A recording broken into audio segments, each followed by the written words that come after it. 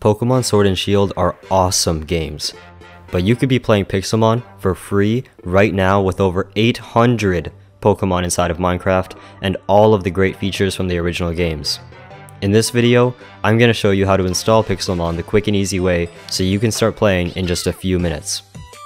So let's not waste any time and get right into the first step. Go ahead and click the very first link in the description below. It should take you to technicpack.net slash download and the page will look a little something like this. Scroll down to the bottom and click the green button that corresponds to your operating system. I'll be using Windows. Once the file is downloaded, we're going to go ahead and open it by clicking on it. And in the window that pops up, go ahead and click the Install button in the bottom right corner. After a few moments, you'll see this login screen. Go ahead and log into your Minecraft account just like you would on the normal Minecraft website with your email and your password. Click the login button and Technic Launcher is now fully installed. From here, all we need to do is install a Pixelmon mod pack. Start by clicking the Mod Packs button in the top menu, and in the search bar type in Poke Resort.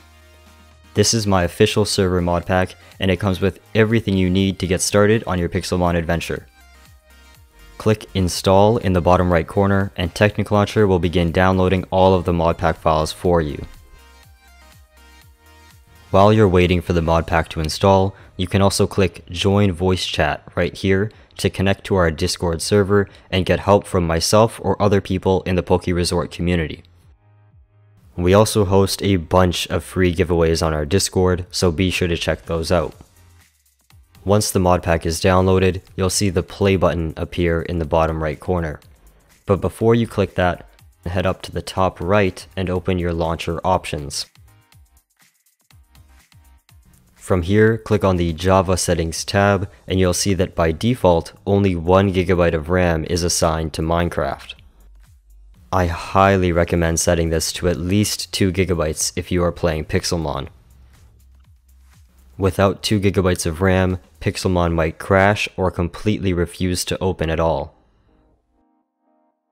If your PC has at least 8GB of RAM, then you can try setting this to 3GB or 4GB for a little bit of extra performance. If you notice that you're not able to change the amount of RAM that Minecraft uses, that's probably because you need to install 64-bit Java.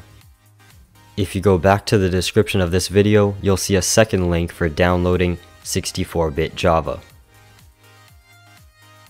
Now that that's out of the way, go ahead and launch the game by clicking the play button in the bottom right corner.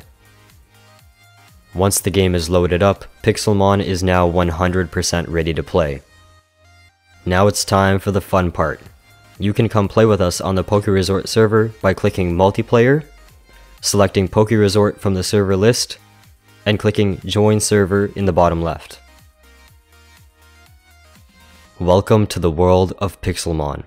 This marks the beginning of your adventure and the end of this tutorial.